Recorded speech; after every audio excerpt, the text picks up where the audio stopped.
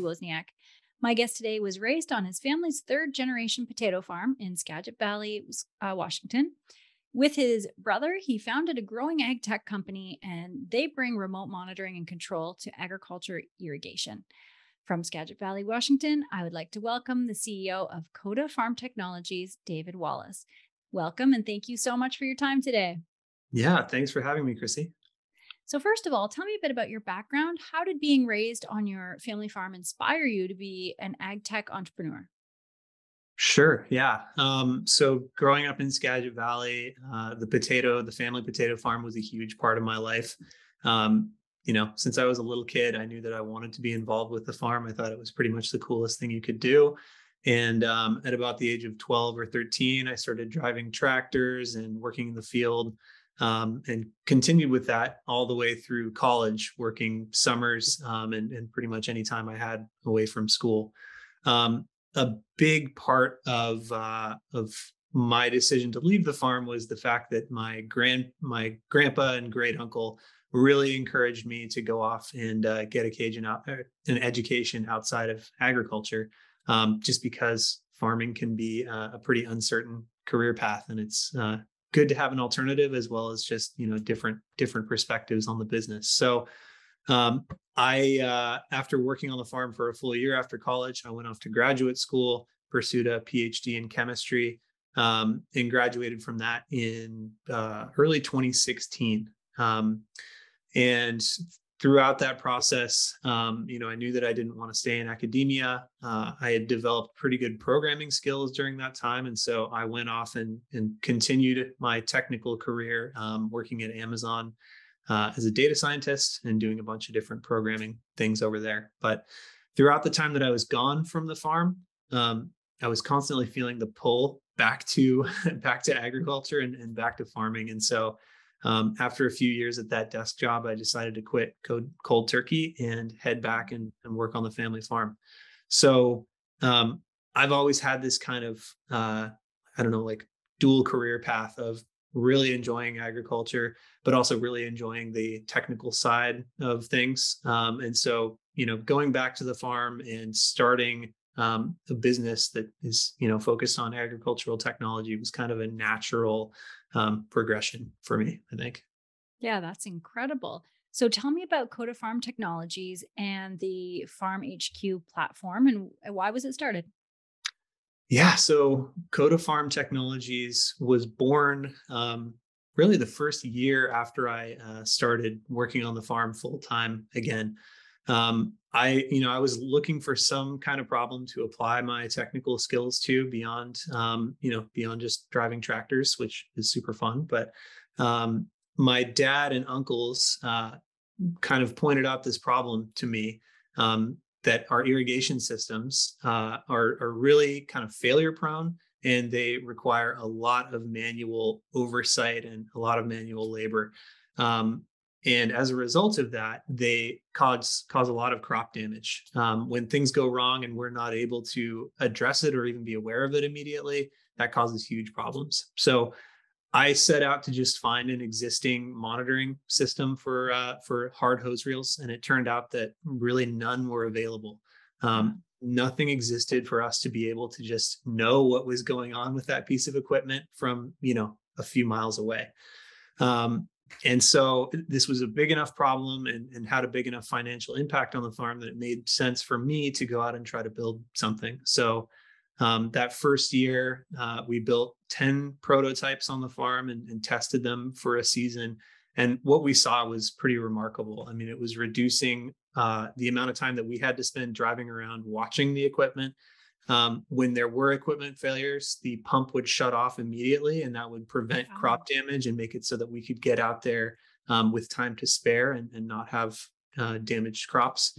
Um, and it, it really just kind of cut down on stress for us because it meant that when we were irrigating in the middle of the night which we we often do it's it's better to irrigate at night if you can in most cases um, we didn't have to get up and go check on that equipment multiple times. We could just look at our phone basically see that things were operating correctly or shut them off remotely if they weren't and then go back to bed until the next morning. So it made a really big difference um, in just our day-to-day work there. Um, and then when we looked at the data at the end of the season, we realized that we were actually saving quite a bit of water and fuel and energy as a result of that. Um, and so it, it, was just kind of a, a, pretty big step forward for us. So that was that was the birth of the company on the farm. It kind of grew organically from there. Um, we had other farmers who, after I told them about it, wanted to come on board and test it too. And so um, we saw demand for it pretty quickly and uh, it's it's grown from there. Wow, that's that's amazing. And you're lucky you have this really unique perspective, um, being an innovator, technologist, and a third ge- generation farmer. So, how does this perspective help you meet your customers' needs? Yeah, I mean, I think it it goes back to um, you know having grown up immersed in the day to day farming experience. Um, so, you know, one of my earlier memories on the farm is riding around with my grandpa when I was probably like 10 or 11 years old, not really able to contribute in, in any way, but definitely taking it in. And uh, we arrived at a field that was just completely flooded because a pump had just been running, com- you know, uncorked, like massive leak for hours on end. And, uh, you know, my grandpa had a bad temper. And uh, so it wasn't fun to be in the truck when that happened. Um, and so just, you know, being aware of issues like that and what the day-to-day work uh, on a farm is like, um, I think really helps to provide perspective uh, when when we're developing technical products um, that somebody who just has an engineering background would would not otherwise get. Um, so, you know, when we're when we're approaching a new problem on the farm, I kind of know how to approach that from a coding and, and engineering perspective, but I also know um, or, or have a good idea about what's going to be actually useful on a day-to-day basis for the farmer. So um, I think that's that's really uh, what it comes down to is just having that intuition for what works on a farm and, and what doesn't. Right. That's that's really key. And what kind of savings can a producer expect with Farm HQ? Yeah, I mean, so there are two different aspects to this. Um, one is, you know, the dollars and cents savings, and that depends on what kind of crops you're growing and how often you're irrigating. So if you're irrigating two months out of the year, um, once a day or, or maybe even twice a day, um, you can expect up to $2,000 per system in just fuel and labor savings. So the system really pays for itself year over year very, very quickly.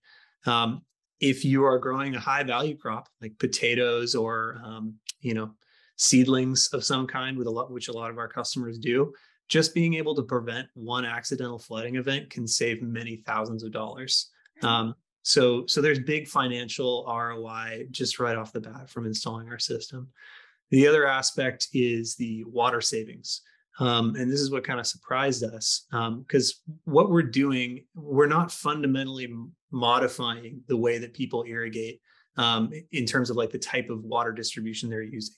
Um, but what we are doing is making sure that they shut off at the exact right time. And just by doing that, we can achieve, um, I, I believe it's eight to 10% efficiency gains on farms. And it's just because, you know, the day to day reality of farming um, necessitates that you're you're setting a timer for maybe just a little longer than you need or you're not able to get to every piece of equipment when it needs to be turned off mm-hmm. um, and so being able to completely automate that process cuts out a lot of water um, so per system i think we're looking at up to a half a million gallons of water per season per system wow. um, which is you know over one acre foot for just a little cellular device so um, yeah it's pretty pretty substantial savings yeah, that's remarkable. And does a farm need to go get all new irrig- irrigation equipment or can it be retrofitted? It's all retrofit. So amazing. We offer a, a small cellular device that you can bolt onto any hard hose irrigation reel, um, any electrically actuated valve, or any water pump and automatically get remote monitoring, uh, remote start stop or, or valve open and close. You can put things on schedules.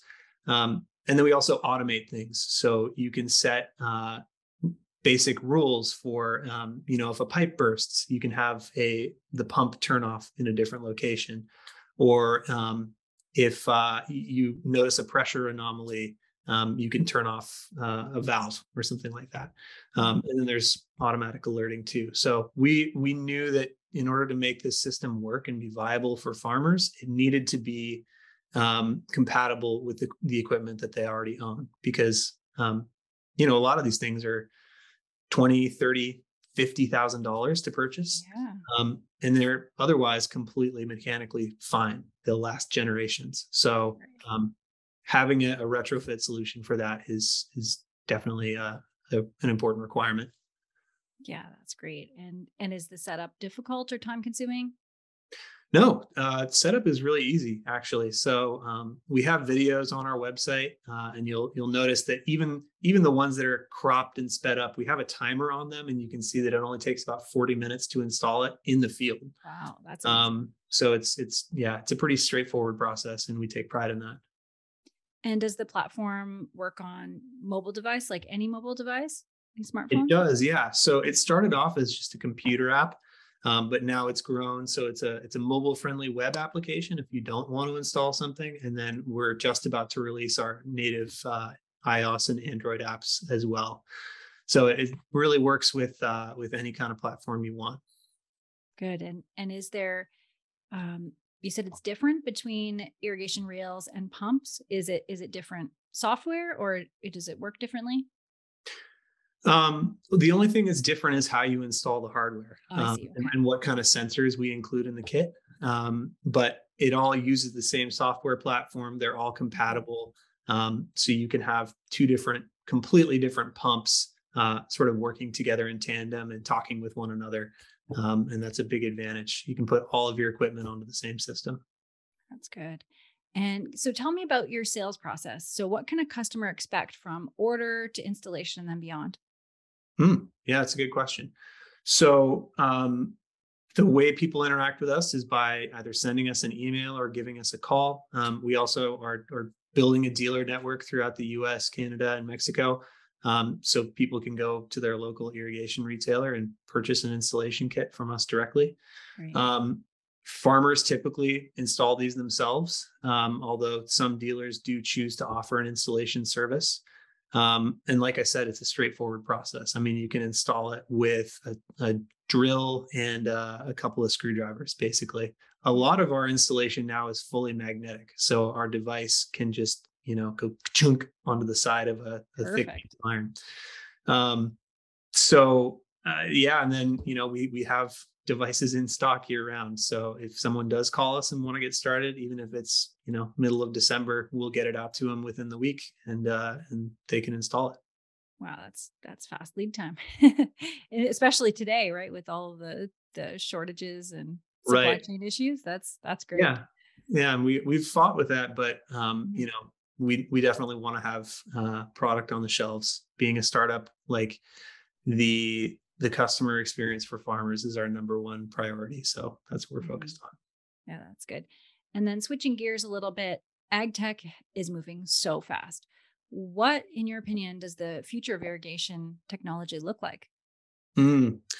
Well, I mean, I think irrigation technology is is going to continue to evolve toward more and more efficiency, um, and so you know, there are automation systems that have been available for a while for things like drip irrigation and center pivot, and those are already you know the very most efficient forms of irrigation. So in areas where you know, like Southern California, um, where water is a very very scarce resource um, folks already have access to really good automation and, and really efficient technologies. Um, but the reality is that a lot of the world uh, doesn't currently use those technologies um, and can't for for various reasons. And so, for for quite a while into the future, farmers will still be using you know the step below that the um, you know the the basic electrical pumps with sprinkler systems um, things like hard hose irrigation reels, which is one of our specialties. Um, and for those farmers, you know, being able to install a monitoring system like this is going to be a step forward. So I think you'll see more adoption of more efficient technologies across the board, and, and things like what we're building um, can really help with that. Um, and then, you know, at the at the very highest levels um, of efficiency, you're going to see more and more AI driven automation. So things that uh, take weather data combined with uh, soil moisture and, and plant water demand measurements and use that to not just recommend an irrigation schedule, but actually take that action um, on behalf of the grower without any need for input. Um, so I think that's that's probably the future. It's not going to happen all at once. It's going to be a phased adoption, um, and yeah, I, th- I, think that's uh, that's yeah, it's like bringing the the full greenhouse outdoors now, which is really exciting. Yeah, yeah, exactly. Everything in a greenhouse is you know timed perfectly, and it's making all the all the decisions, but we could never do that outdoors. So this is really incredible. Yeah, well, and there are, you know, I should say on the greenhouse topic uh, specifically, um, there are some folks that think large greenhouses are the future for for all crops, just because they can be so so uh, precisely um, monitored and and controlled climate wise. Yeah. Um, and so you know that that may be a part of it, but I think growing crops outdoors is always going to be a reality, at least for my lifetime, for sure. Yeah. Yeah, I, I would have to agree. And yeah. producers often complain, you know, I hear it all the time about tech and data overload. So, how do you recommend growers move forward and then choose what's going to actually make a real impact on the farm? Yep. So, I see this throughout ag tech. Um, there are a lot of startups and a lot of established companies right now that are trying to really own the data. They want to be the platform that incorporates everything all at once.